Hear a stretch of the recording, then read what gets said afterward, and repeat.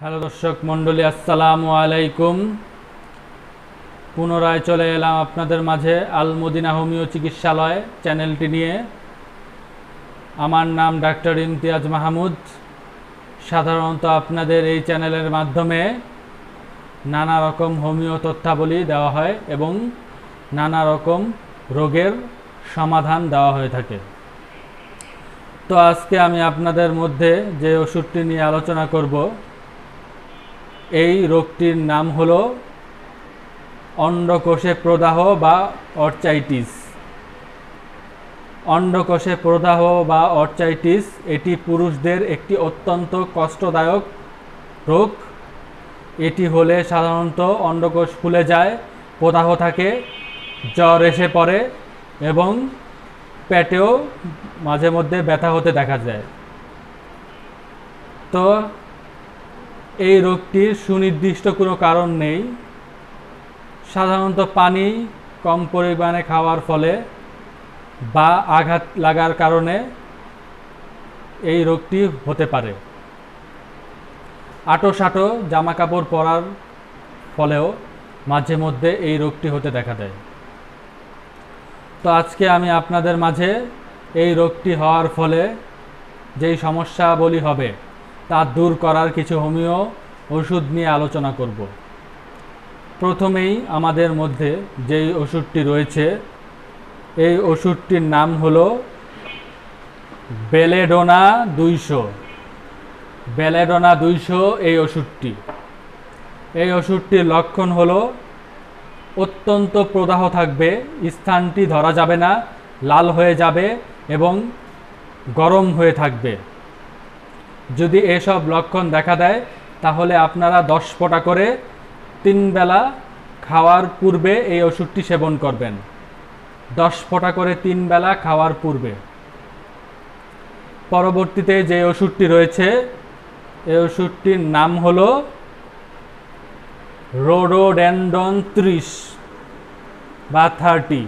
রোডোড্যান্ডন তিরিশ বা থার্টি এই ওষুধটি। এই ওষুধটির লক্ষণ হচ্ছে আপনাদের অন্ডকোষ একটি একটু বড় হয়ে যাবে আর একটি স্বাভাবিক থাকবে।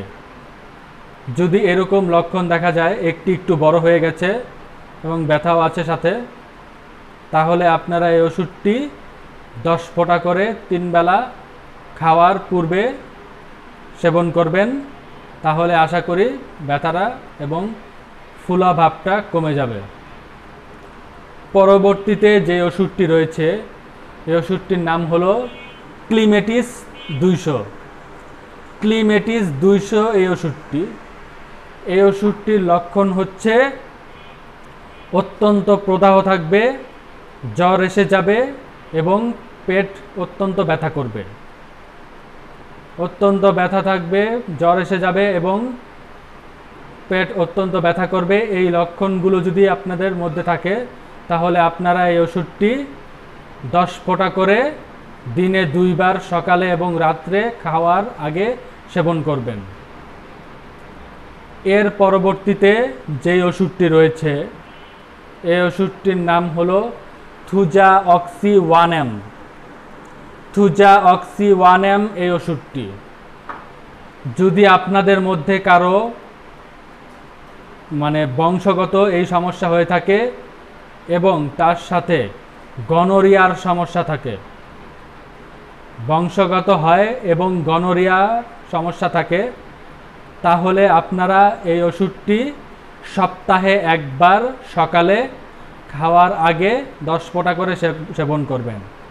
যেমন যদি আপনারা রবিবারে সেবন করেন, তাহলে এক সপ্তাহ পর আবার রবিবারে সেবন করবেন সকালে। তাহলে আপনারা আল্লাহ রহমতে সুস্থ হতে পারবেন। তো আজকে আমার বিষয় ছিল অন্ডকোষে প্রদাহ বা অর্চাইটিস। আশা করি আপনারা এই ওষুধগুলো যদি সেবন করেন, তাহলে অতি দ্রুত এই সমস্যা থেকে নিস্তার পাবেন। বা এই সংক্রান্ত যদি আপনাদের কোনো তথ্যাবলী থেকে থাকে, তাহলে নিচে কমেন্ট বক্সে জানাবেন।